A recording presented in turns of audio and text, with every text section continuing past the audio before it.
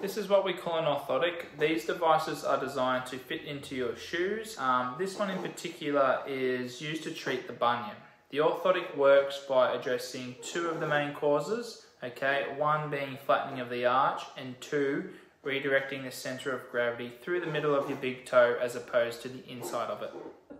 The way we control the foot from flattening out is with a cutout. The cutout is designed to drop the big toe joint down like this, which allows for more movement through there, as opposed to being jammed up like this. And as you can see, there's no movement through it.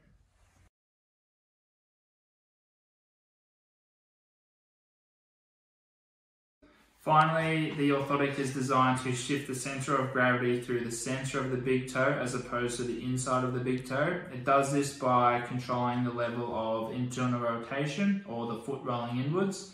If there is greater internal rotation, this just leads to greater pressure on the inside of the big toe.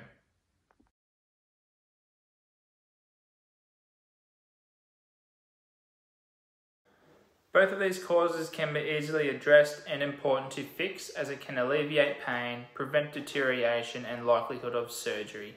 Thank you.